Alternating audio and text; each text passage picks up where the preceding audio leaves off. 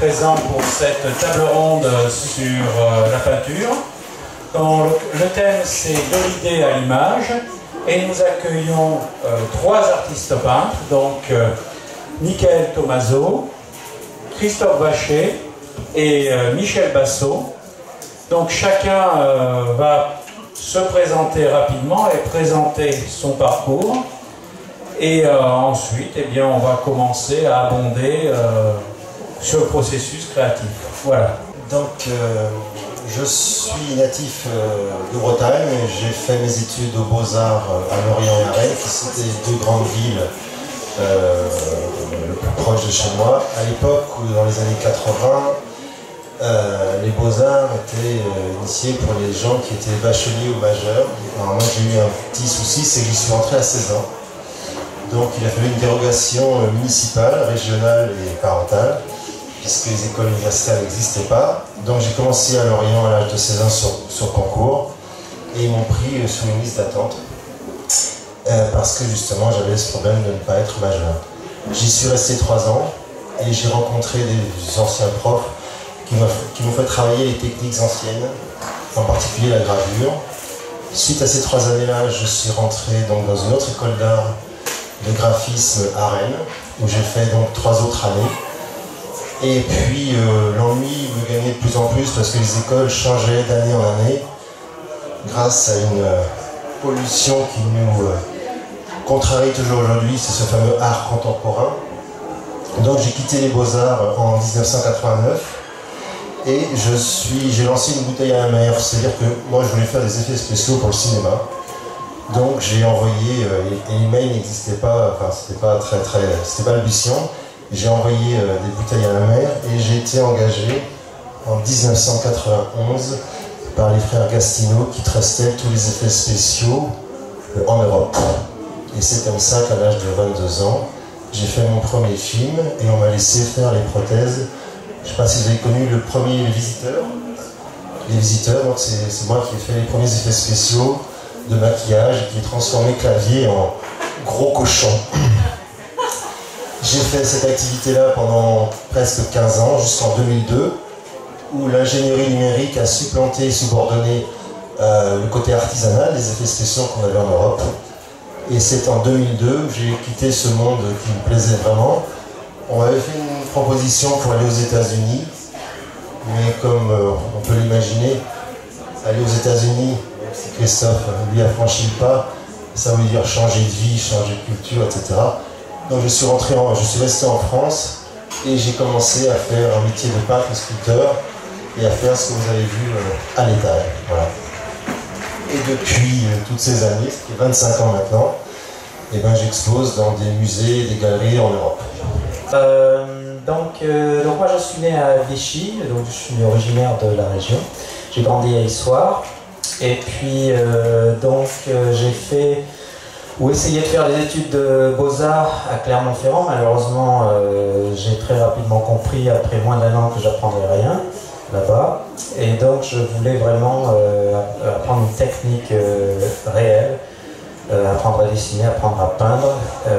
et malheureusement, c'était difficile à trouver en France. J'ai cru qu'à Angoulême, ça ce serait possible euh, malheureusement, financièrement, j'étais pas, euh, c'était pas vraiment possible, mais euh, il y avait aussi le fait que finalement Angoulême, c'est la bande dessinée et l'illustration, mais ça reste relativement restreint.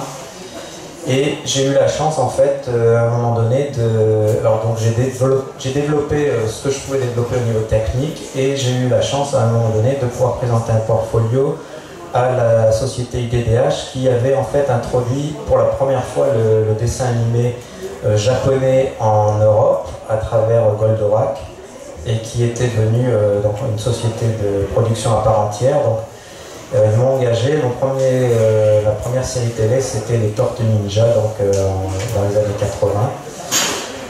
et puis de là, ben, j'ai vivoté sur plusieurs séries télé qui étaient produit par la même euh, société et finalement j'ai quitté la société.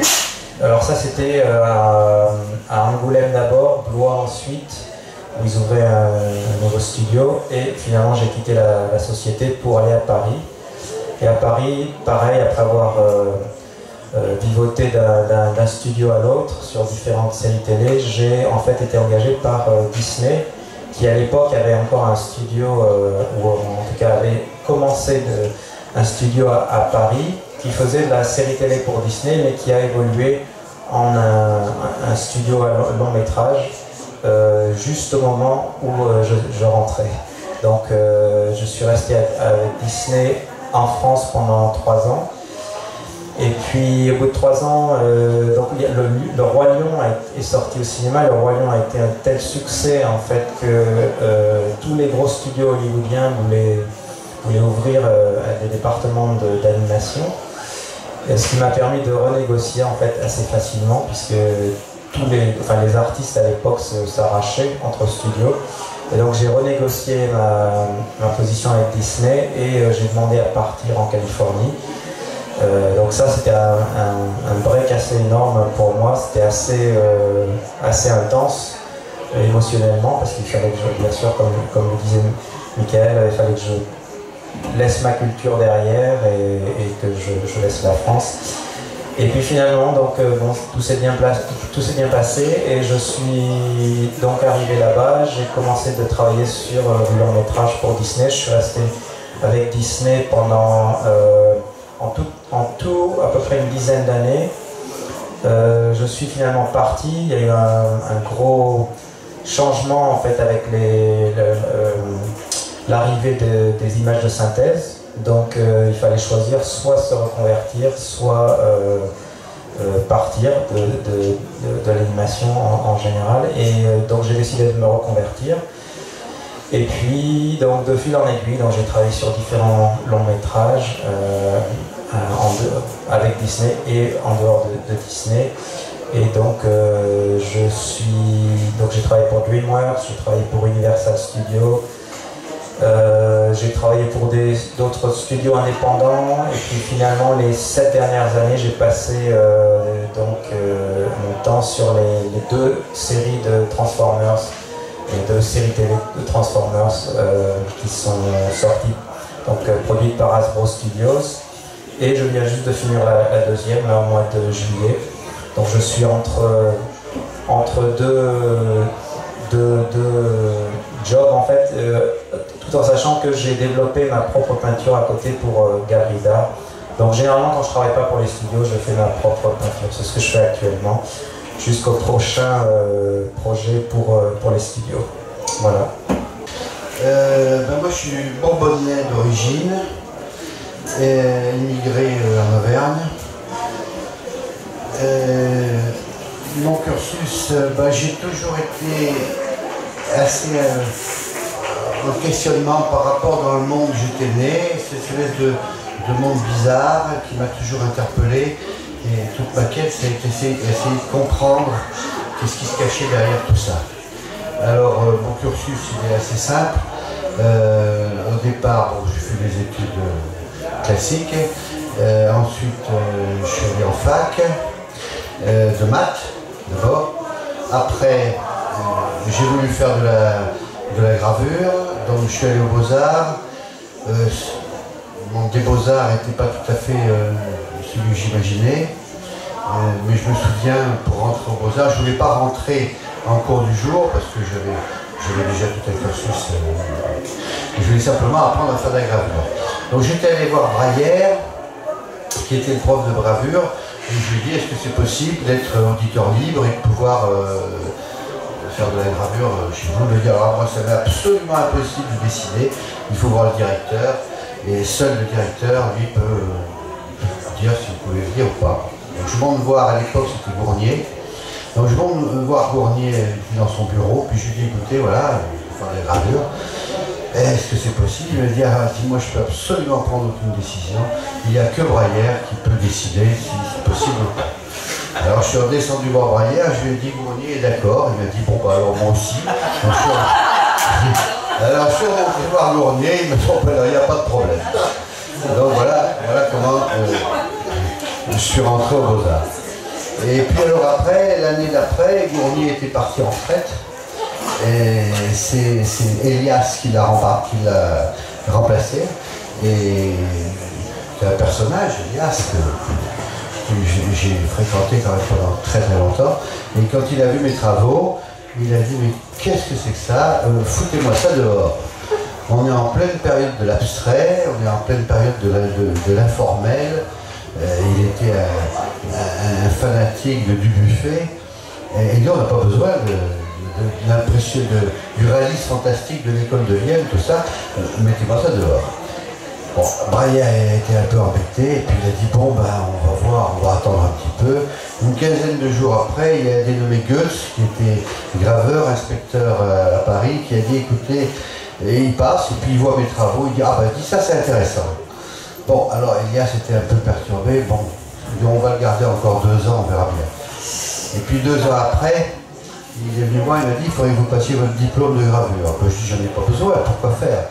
Euh, il dit, ben, on vous a permis d'être aux Beaux-Arts pendant 4 ou 5 ans, renvoyez-nous l'ascenseur, on, aura un diplôme, ça. Alors je dis, bon, ben d'accord. Et puis c'est comme ça, donc j'ai eu mon diplôme de graveur.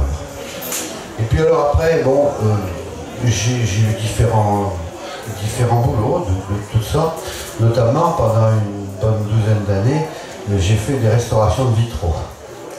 J'ai passé, du bon temps à faire ça. Euh, euh, parallèlement à ça, ben, je faisais mes propres peintures qui, qui étaient, euh, à l'époque, c'était toujours le même questionnement sur qu'est-ce que c'est que ce monde dans lequel je suis plongé, auquel je ne comprends pas grand-chose, comment ça se fait que ça fonctionne, le côté métaphysique me passionnait assez. Bon.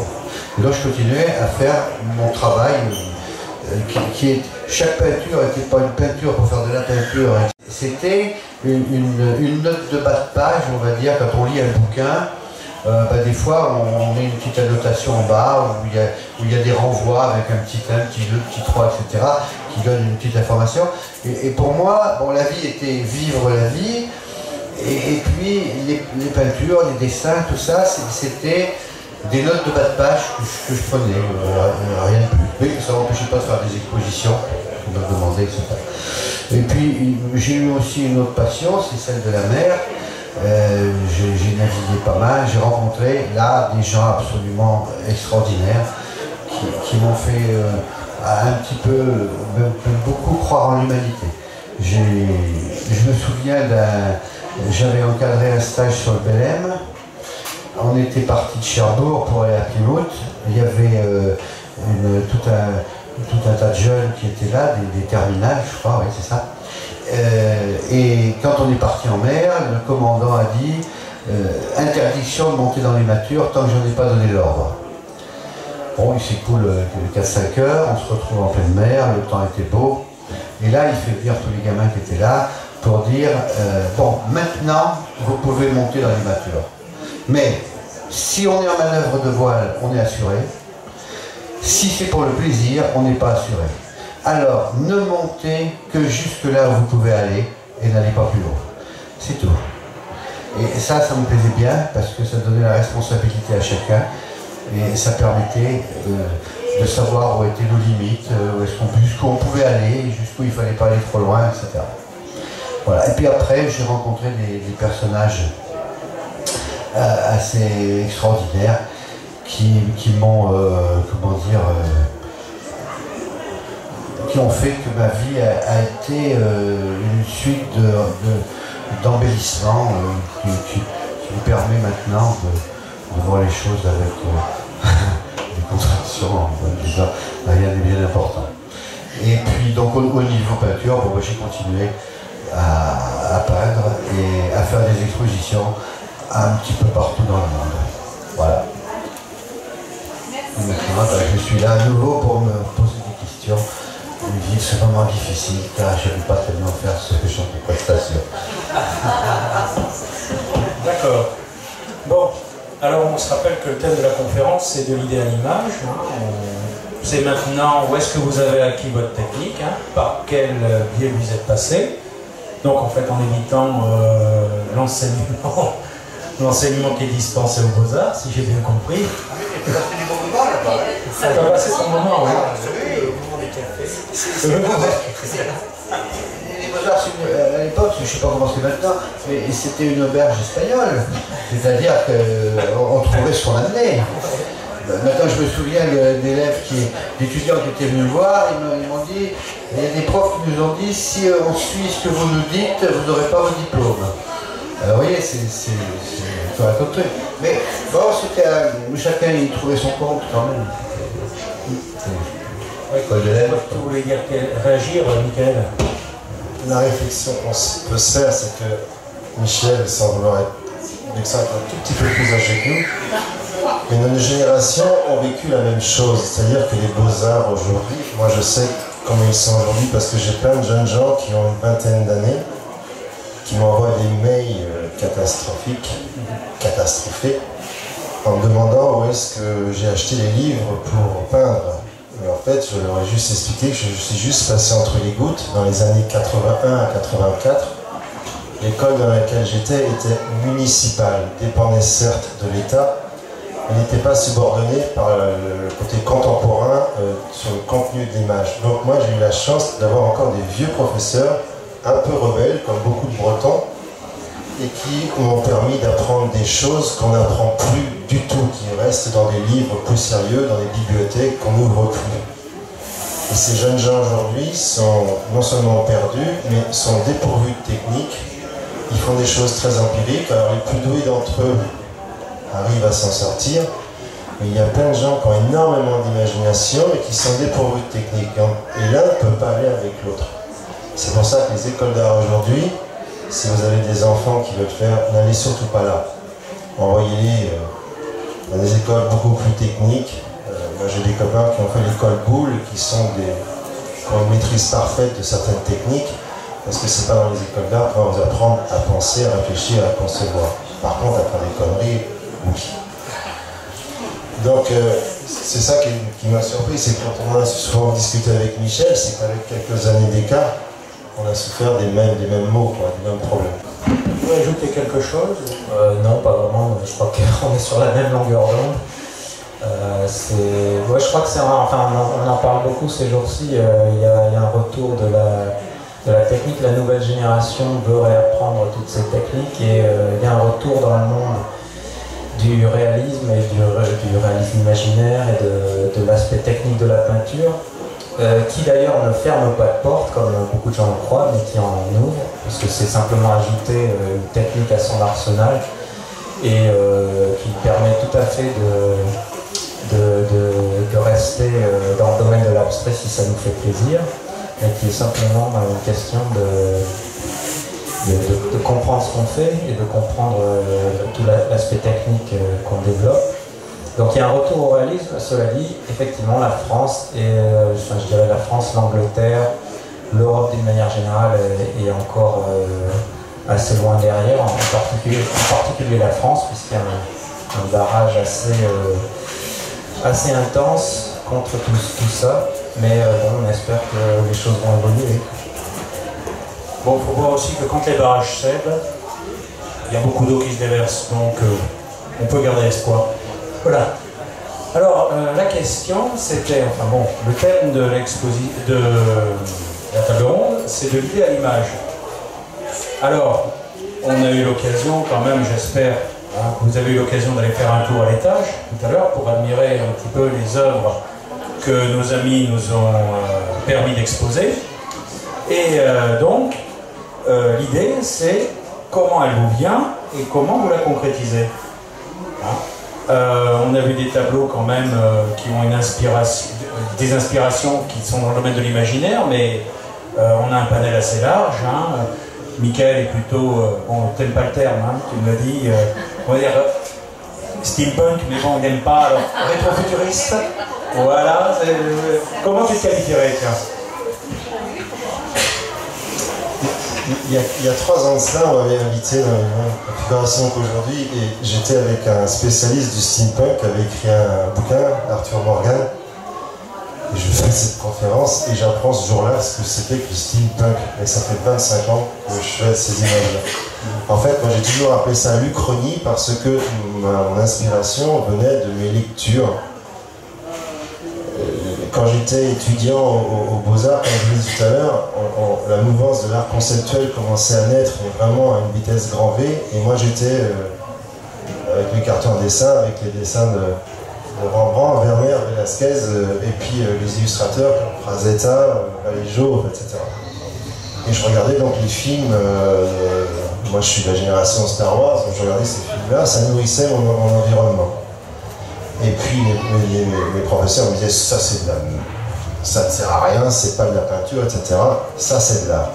Donc je me suis toujours, grâce à mon tempérament rebelle peut-être, toujours insurgé contre ça et je suis resté dans ma logique. Donc je lisais énormément de bouquins de fiction et je lisais en particulier les bouquins euh, anglo-saxons. Alors ça passait de Lovecraft, parlait euh, en France Garpo, Masterton qui devait venir. Euh, ben, moi j'ai lu quasiment tous ces bouquins et ça nourrissait mon imaginaire. Mais je ne m'inspirais pas de, leur contenu. Ça ne faisait que nourrir mon imaginaire. Et puis, je ne sais pas pour quelle raison, j'ai toujours été intéressé par les, machines et donc j'ai commencé à faire, euh, à être intéressé par le, milieu du 19e siècle, la, première révolution industrielle. Et puis comme j'étais dans une école d'art où j'avais appris à faire des choses techniques, bah, c'est comme ça que mes personnages euh, ont été, euh, par la colorisation et, la mise en, image, toujours dans cet environnement 19e, et que, qui était toujours décalé parce que ma source d'inspiration était littéraire. Je n'ai jamais euh, fait de bande dessinée, je n'ai jamais été inspiré par l'image, mais toujours par le contenu de ce que je pouvais lire. C'est pour ça que euh, la peinture, quand on catégorie, quand on m'a mis dans la catégorie peinture imaginaire, au début je ne savais pas ce que c'était, parce que ce que je faisais pour moi n'était pas imaginaire, c'était juste la transposition de ce que je lisais et les, images venaient vraiment comme ça.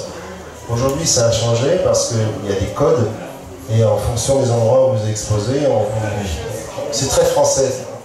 On nous, met, met, dans des catégories, je supporte pas ça.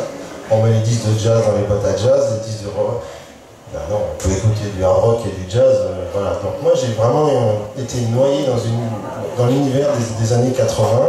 Et puis fort de ces lectures, ben, ça a donné, donné naissance à mon travail. D'accord, merci. Et toi, Christophe, toi, tu es plutôt dans l'inspiration. Alors, c'est le fantastique, c'est la science-fiction. Euh, ça vient d'où C'est de la génération Goldorak, parce que tu es passé par UDH, non? Oui, oui, bah oui. Euh, je, suis, je, suis, de la génération Goldorak. En fait, je suis de la même génération que Michael. Hein. En gros, on est passé un peu par les mêmes choses. Euh, quand, quand il parle des choses qu'il avait dans son, son portfolio, en fait, j'avais le même genre de, de choses. Donc, on a on a sans doute été influencé par les, par les mêmes choses et on est, on est passé par les mêmes choses, les mêmes, euh, les mêmes obstacles. Et pour en revenir à l'appellation en fait euh, de, catégorie, je me suis rendu compte qu'en fait, alors c'est, il disait c'est typiquement français, en fait, je, dirais on retrouve la même chose aux États-Unis, mais quelque part euh, le, label qu'on sous lequel on, opère, en fait, à un moment donné, je me suis rendu compte aussi qu'il est même si moi je, je l'aime pas non plus, pendant longtemps je me suis, je me suis dit mais pourquoi est-ce qu'on on aurait un label? Et puis je me suis rendu compte en fait qu'à un moment donné euh, ça devient nécessaire pour, pour euh, faire partie d'un groupe qui va, euh, je dirais, défendre une idée ou un, ou un, concept auquel on est attaché et qu'on ne peut pas le faire seul. C'est très difficile de le faire seul. Donc sous la bannière en fait du réalisme imaginaire, puisque c'est à peu près maintenant presque. Bon, il peut y avoir le, euh, comment ça s'appelle Magic Realism.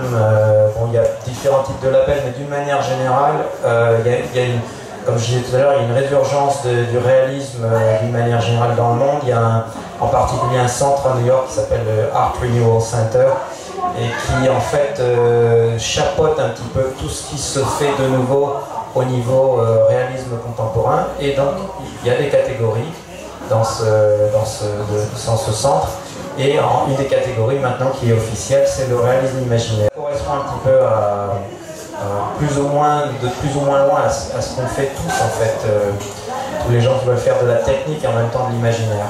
Donc qu'on soit, euh, qu'on vienne, euh, qu'on touche plus ou moins au steampunk ou quelque chose de plus fantastique, plus heroic fantasy, plus surréaliste ou, spirituel. voilà, donc en fait tout ça semble en fait converger vers cette catégorie de réalisme imaginaire qui, nous permet d'une certaine manière de, se raccrocher à quelque chose de plus solide face à, tous les mouvements dont on parlait euh, avant les mouvements, d'art contemporain qui, sont les mouvements d'art contemporain qui sont actuellement, qui ont toujours la main mise sur le monde de l'art. Le réalisme imaginaire, c'est quand même un oxymore. Quoi. Oui, en fait, c'est aussi pour ça que c'est utilisé de cette manière, parce qu'en fait, euh, la, définition en anglais, c'est euh, euh, realistic depiction of, what's unreal. Donc la, dépiction réaliste de ce qui n'est pas réel. Donc en fait, c'est donner chair à ce qui n'est pas réel. Et ça, pour moi, en fait, c'est effectivement, c'est un paradoxe mais quelque part, ça définit exactement ce qu'on essaye de faire. Rendre visible l'invisible. Voilà, c'est ça. Et donc, euh, Michel, tu as eu un parcours qui est plus, euh, quelque part, plus classique, hein, parce que la génération d'avant. Euh, pour, pour revenir au réalisme fantastique, tout simplement, le réel est fantastique. Le réel est au-delà de tout ce qu'on peut imaginer. C'est fabuleux. Alors, moi, comment j'en suis venu euh, C'est une histoire de. Euh, comment j'en suis venu à la peinture? Eh ben, Un jour, je ne sais pas quel âge j'avais, 12 ans par là, il y a un copain qui. On, avait de la gouache, nous, à l'école, pour, euh, travailler. Puis un jour, il me montre des tubes de peinture. Et il me dit, t'as vu, c'est bizarre, ça, regarde quand on met la, la pâte sur une, feuille, ça fait drôle. Et alors, effectivement, je regarde ça, je dis, ben, c'est tout grave. Puis, finalement, on pouvait faire des choses extraordinairement plus, facilement qu'avec de la gouache. Et donc, euh, donc à ce moment-là, j'ai utilisé ces peintures pour faire des choses d'une banalité inimaginable. Il y avait, euh, je sais pas, un, morceau de blé sur la table, je le peignais, puis je me rendais compte que j'arrivais à le représenter. Alors, euh, ça, au début, c'est vraiment la matière. La matière qui fait qu'on peut faire quelque chose, comme avec un stylo, on peut écrire des poèmes. Et puis, euh, euh, le, temps passe un petit peu, et puis un jour, je tombe sur une, revue qui s'appelait Planète, à l'époque, euh, et il y avait une, la production de Max Ernst et de Dali. Et je me suis dit, tiens, c'est marrant parce que finalement, avec cette pâte, avec ces trucs-là, on peut aussi mettre des idées sur, sur une toile. C'est-à-dire que tout d'un coup, on n'a pas seulement l'écriture euh, pour euh, euh, transmettre des idées, on a aussi un autre support, et c'est comme ça que je me suis mis à faire de la peinture. Il se trouve qu'à l'époque, je vivais dans un monde qui était un, petit peu décalé. Ma, grand-mère avait acheté une maison en viager, et elle, devait, euh, dans son contrat, nourrir le propriétaire de la maison qui habitait au premier étage. C'est un personnage euh, absolument étonnant, très bizarre, avec une grande cape, tu sais, un peu comme tu as.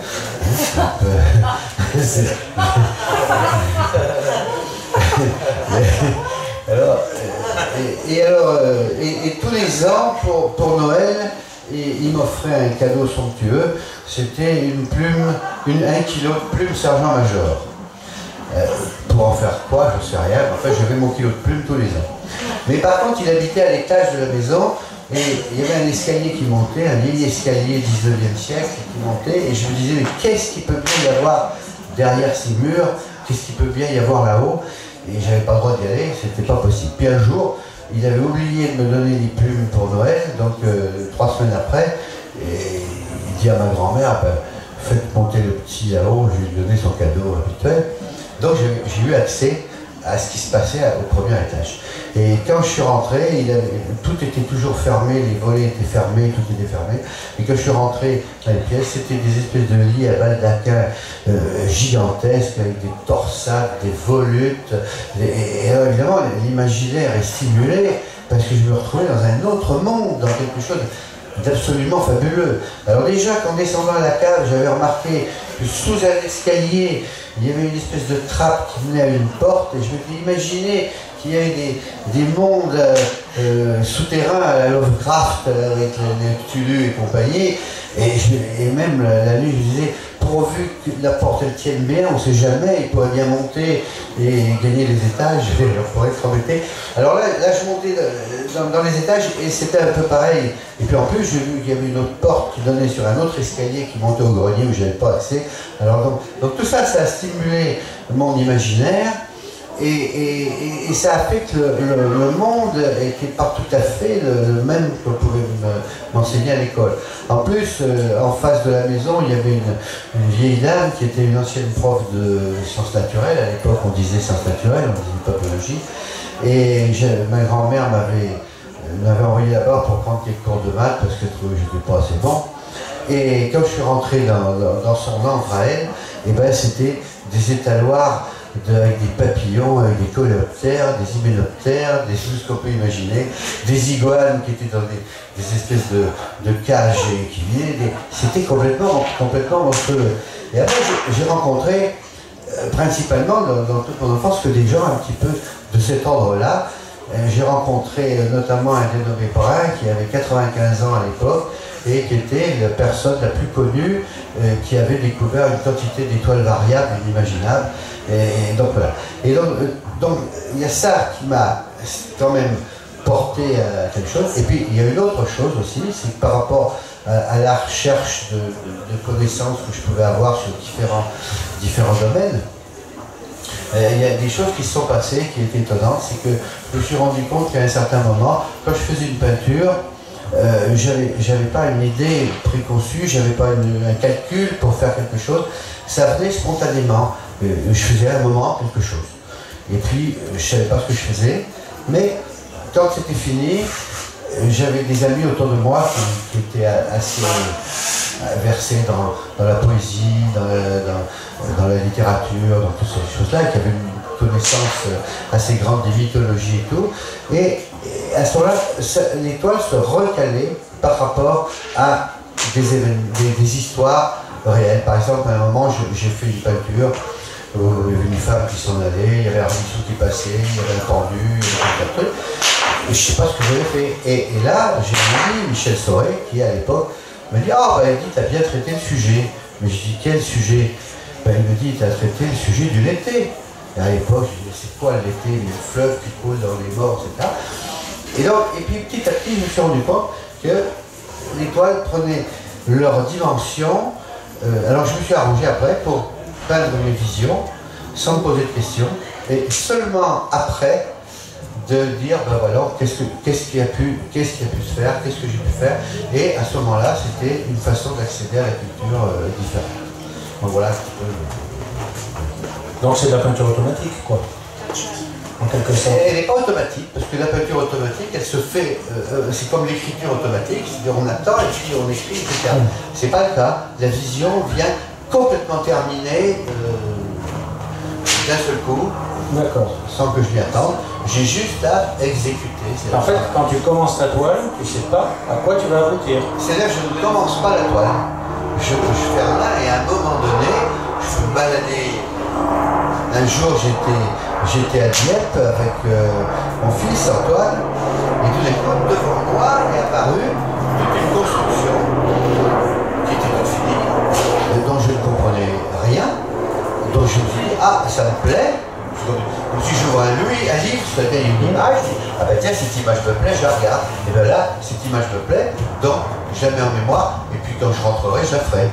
Et donc j'ai fait la peinture, et après, il, s'est révélé qu'il y a toute une histoire euh, métaphysico-théologo-cosmologique dessus. D'accord. bon. Et sinon, on a qu'il y avait une vie après le premier étage, quoi. Exactement. Et même, même au grenier. Et même au grenier. Ok. Et alors, euh, la réception de votre peinture par le public, comment est-elle? Moi, c'est très rigolo, on pense souvent que je suis mort.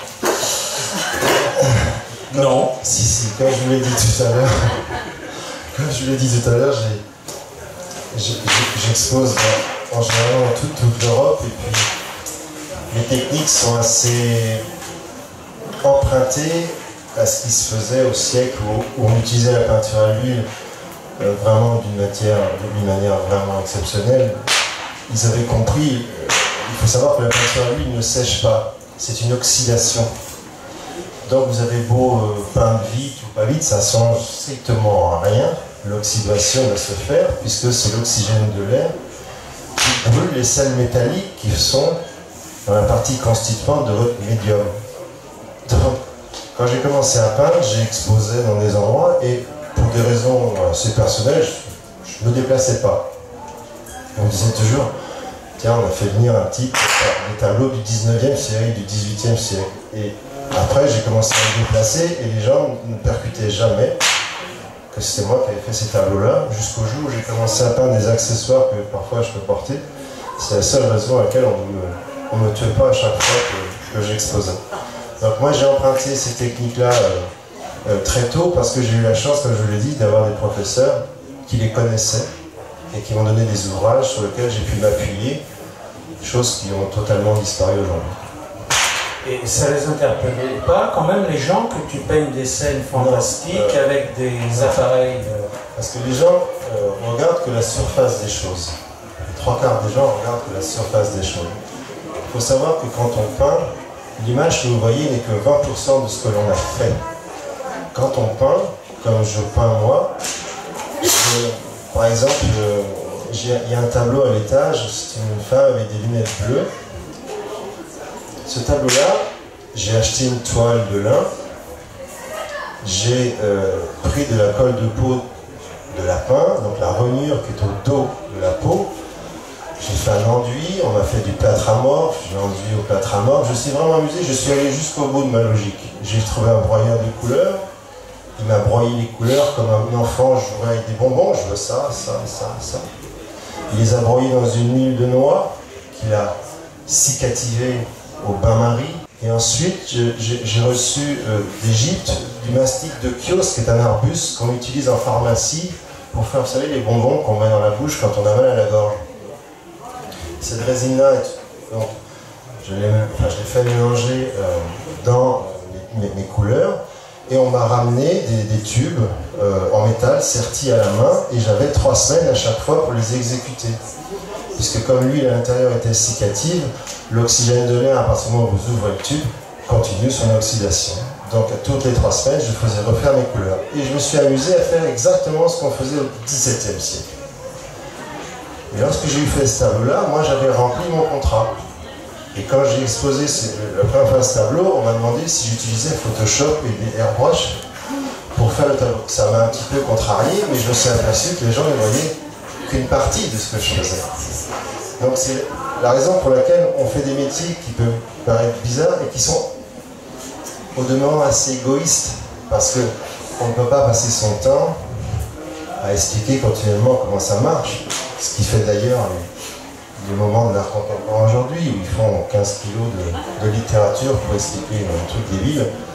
Donc moi j'ai continué à faire ça et grâce à la chimie d'aujourd'hui et puis à mon ami euh, Michel, j'ai pu utiliser des matériaux plus modernes qui offrent les mêmes caractéristiques de la peinture, mais qui me permettent d'aller un tout petit peu plus vite. Parce que le danger de notre métier aujourd'hui, c'est le temps. On nous demande, moi on me demande de faire des tableaux qui font parfois 2 mètres de haut. Là, c'est ce que je suis en train de faire en ce moment pour un musée. Donc il fait 2 mètres de haut, 140 de large. Et on dit, dans 4 mois, c'est OK. Rembrandt mettrait 3, 4 ans. Donc je leur ai dit, si, je n'ai pas le talent de Rembrandt, ni de Vermeer et Velasquez réunis, c'est donc impossible. Donc on est obligé à chaque fois d'expliquer que la chimie d'un coup de ce n'est pas une évaporation comme on pourrait peindre à, l'eau, à, l'aquarelle. Et ça, ça m'a vraiment, vraiment ennuyé. Donc euh, j'ai quand même continué à le faire, et c'est pour ça que je me suis mis à faire des reproductions qui permettait de pouvoir dispatcher mon travail euh, dans plusieurs endroits sans devoir faire des travaux, pas des tableaux dans des rapidités qui étaient ineptes par rapport aux techniques que j'utilisais. Et toi, Christophe? Le public Sa réaction euh, La question qu'on me pose le plus souvent, c'est qu'est-ce que vous fumez? Puis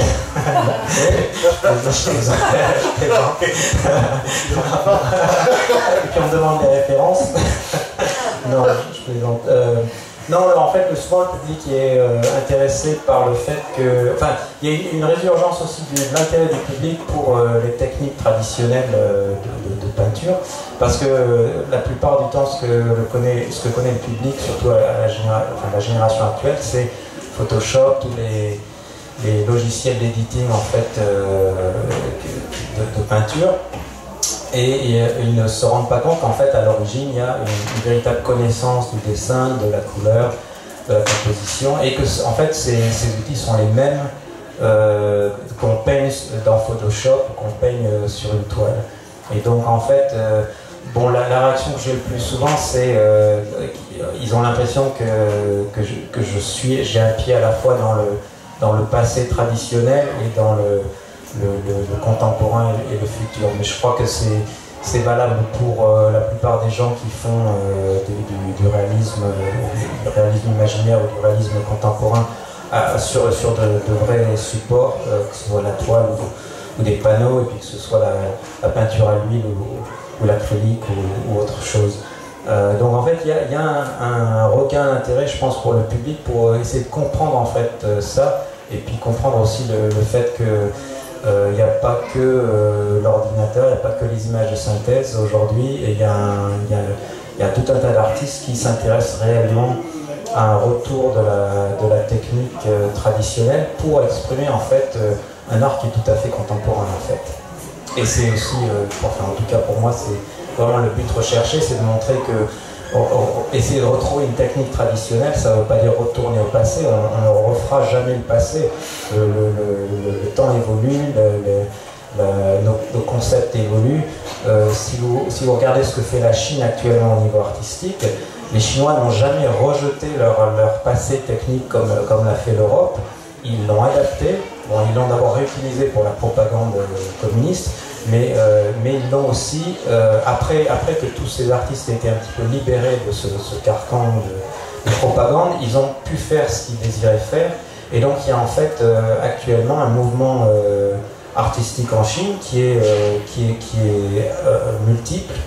et qui en fait permet aux artistes, parce qu'ils ont des fondations réelles, artistiques réelles, qui leur permet de faire une, multitude de différents styles, que ce soit un style beaucoup plus euh, contemporain ou, plus, euh, euh, traditionnel, mais qui a une fondation réelle avec des, bases solides, où ils ont appris à dessiner, où ils ont appris le, fonctionnement de la ligne, de la composition, des formes plates, des formes tridimensionnelles, de la, couleur, la lumière, etc. Toutes ces choses qu'ils utilisent de manière contemporaine. D'accord. Par rapport à ce qui s'est dit là, par rapport à ce qui s'est ça, marche Et par rapport à ce qui s'est dit là, je veux en revenir à, un concept, c'est l'économie qui fabrique l'âge, qui fabrique la civilisation. Et donc, si vous prenez par exemple en 1492, un marchand qui faisait le voyage de Gênes au Liban, payait pour son voyage le salaire de 600 ouvriers pendant 6 ans. Le même marchand actuellement qui fait le même voyage paye moins que le salaire d'un ouvrier pendant un mois. À l'époque, un peintre qui mettait 8-10 mois à faire une peinture n'avait aucun mal pour la vendre par rapport à ce que le marchand payait pour son, travail. Il est bien évident que maintenant, le même peintre qui va mettre 6 mois euh, pour faire la peinture, il est, il est garanti d'être à la rue en peu de temps. Quand il aura payé déjà les charges sociales, euh, qu'il va multiplier par deux le béton, il se paye au SMIC à 1300 euros, juste comme ça. Ça fait 2000 euros avec les charges. Pendant 6 mois, ça fait 12 000 euros. La galerie qui va le prendre va prendre encore 12 000 euros. Ça fait 24 000 euros. C'est plus vendable du tout. Parallèlement à ça, on a l'art contemporain qui sévit depuis pratiquement presque trois quarts de siècle. Et cet art contemporain, lui, il vend des toiles de coût 72 millions pour un tirage de sculpture. Euh, il y a une armoire à pharmacie en métal, je ne sais plus qui c'est qui l'a fait, euh, qui s'est vendu 13 millions d'euros, c'est-à-dire plus cher que le Rembrandt qui est passé avant, et on n'est plus dans le même monde. Et finalement, comme c'est l'économie et c'est l'argent qui fait tout le paradigme de la civilisation, il est bien évident que ce qui se construit, c'est par rapport autour de l'art contemporain, et que tout ce que nous, on peut faire là-haut, c'est complètement ringard, c'est complètement à la limite dérisoire de continuer à travailler là-dedans. Heureusement qu'il y a un côté philosophique métaphysique ou tout ce qu'on veut, qui nous permet de continuer à travailler. Mais autrement, c'est du suicide. Et, là, euh, pour l'instant, euh, je ne vois pas comment, euh, là, je vois pour faire une exposition comme ça, on n'a pratiquement pas un centime, c'est tout juste, il ne faut pas payer les, les fils de nylon qui soutiennent l'étoile, etc. Et on le fait quand même, c'est une absurdité quelque part.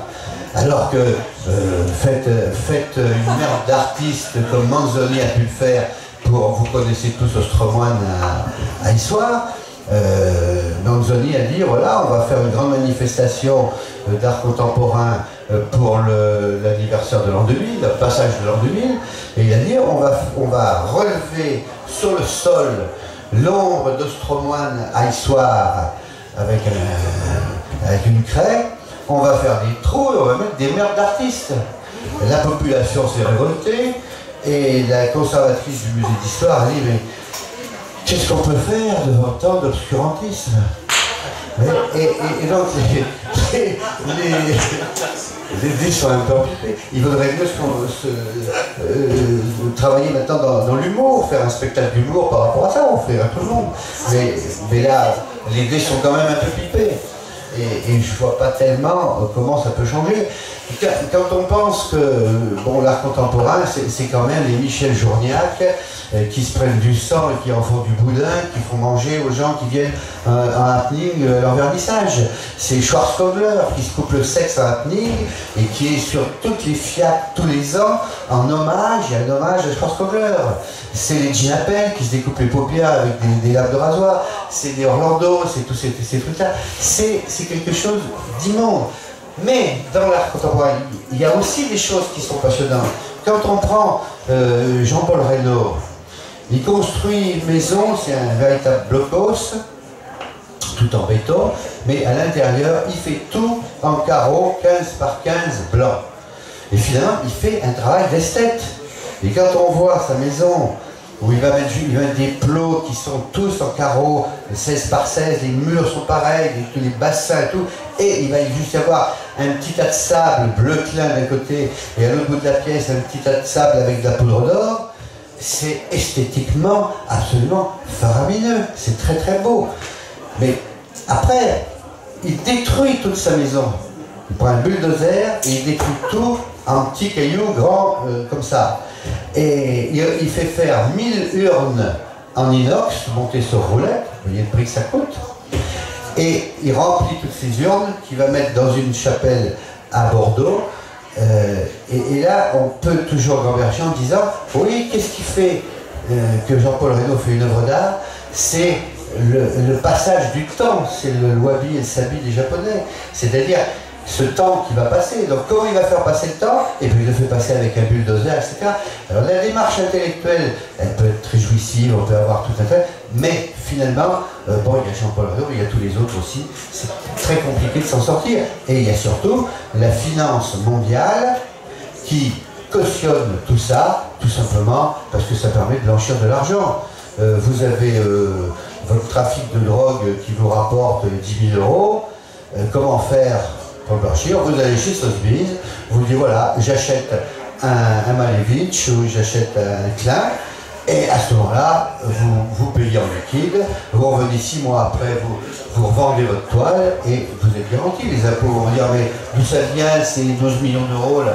Eh bien j'ai vendu le voleur, vous étiez propriétaire, oui, regardez les Sotheby's. Et, et, et là, qu'est-ce qu'on fait devant tout ça? Qu'est-ce qu'on peut faire? On ne peut rien faire. Voilà. Bon, bah, on peut considérer que c'est le mot de la fin.